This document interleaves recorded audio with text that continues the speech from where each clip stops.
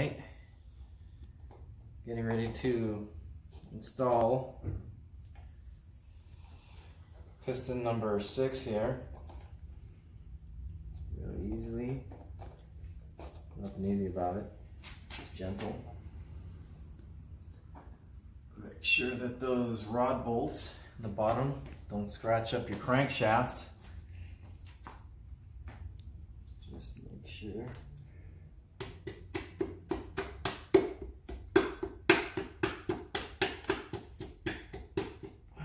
And there it is. She's in. So here we are. These are actually Kyle's pistons. He picked up for his short block here, or for the notchback here. These are actually 30 thousandths over, which will make this motor an actual true 5.0 at 306 cubic inches. Because back in the day, our 302s here weren't really actually 5.0s. They're technically 4.9s, but being that this is now 30 thousandths over, cylinder bore here, 30 thousandths over, larger piston as well. It's gonna give him small little extra amount of cubes there. We also changed the CCs on the pistons themselves to give him a bump in compression ratio. So he's gonna hopefully see a little added horsepower to that, give him a little grin, a little smile on his face, and be a little Silverado eater. his buddy's car. So anyways, that's that. I'm gonna pop this guy in, then show you guys a video what the rotating assembly looks like when the pistons are actually actuating. About to lay piston number seven in.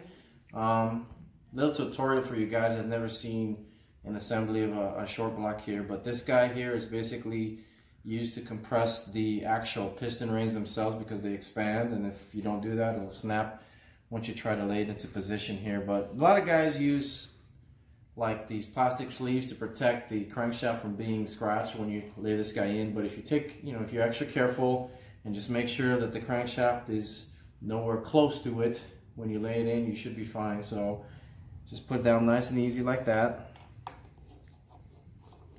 Put it into place.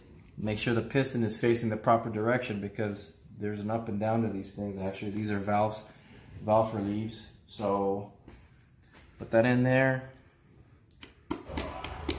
Give it a bump. Like that. You can see. And there it is, it's installed. So now I'm just gonna flip the motor around and uh, connect the rods to the crankshaft. So one thing I didn't show you guys is well, the reason why we use the compression ring um, with piston installers because these compression rings actually are springy. See? So that collapses it so we can put it into the cylinder bore. But uh, when you actually install these, the manufacturers actually have guidelines to which way these need to be oriented. Um, so that uh, they basically a lot of lot of manufacturers don't want these guys over like wrist the wrist pin area or basically like Here's the second ring. Doesn't want it on top of each other as far as the gaps are concerned. Um, so that guy's gonna face, it's actually 180 out, phased, phased away from each other.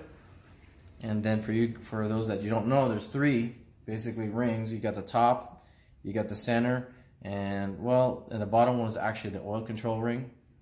Um, so it's basically a spacer in there and then two rings that sandwich it together. So that's what it looks like.